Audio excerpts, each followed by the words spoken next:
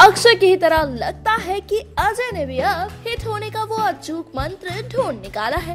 अब भाई ऐसा हम सिंघम की बैक टू बैक धमाके को देखकर बोल रहे हैं। क्योंकि जिस तरह hit man Akshay back to back movie sign करके सभी को हैरान कर रहे हैं और अपना दबदबा बना रहे हैं, अब अजय ने भी वही स्ट्रैटेजी फॉलो करना लगता है, शुरू कर दिया है।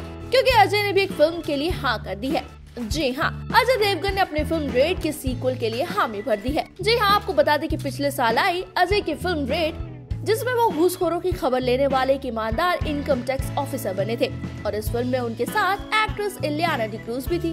और अब जब फ़िल्म के सीक्वल बनाए जाने की खबरें जोरों पर हैं, तो अजय ने क्या रिएक्शन दिया ये बताया बॉलीवुड हंगामा ने अपनी रिसेंट रिपोर्ट में। The makers of Raid 2 met Ajay Devgan and narrated the concept of the film along with his. Devgan liked what he heard and has since requested that they flush out the entire script and screenplay of the venture. Ask the source for the further detail and he adds, right now the makers of Raid 2 are doing the needful and developing the project.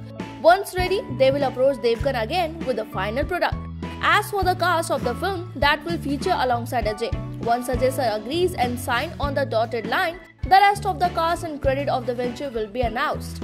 और हाँ अजय की हाँ के बाद makers जल्द ही इसकी official announcement भी करेंगे। यानी गोलमाल फाइव ताना जी और एक और कॉमेडी फ़िल्म के बाद अजय के बकेट में एक और मूवी का आ जाना यकीन उनके फैंस के लिए बड़ी गुड न्यूज़ है। तो अजय के फैंस आपको ये गुड न्यूज़ सुनकर कैसा लगा?